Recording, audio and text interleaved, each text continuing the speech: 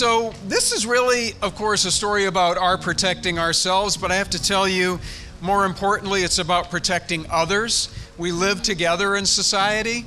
We have to care about each other in society. We've got to figure out how to bring ourselves together a, at a greater level of empathy and sympathy for people who obviously are different, including living with different states of health. We know that this pandemic has been going on for 19 months, and we know that the answer to putting this pandemic in the rearview mirror is to be vaccinated. If you haven't been vaccinated, we have three very safe and effective vaccines. We have boosters available now.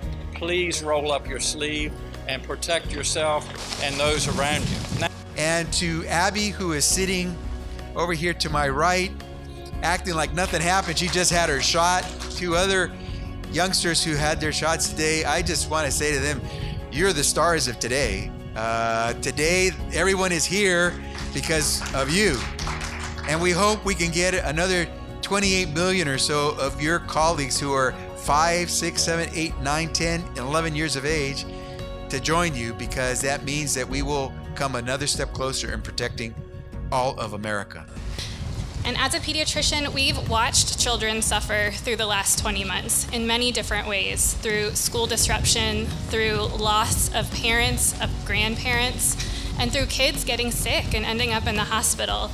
Then there are the school disruptions that come from viruses or from close contact. So when a child's ill, they have to stay home and miss more school, on top of what's already been a disrupted academic year for them last year.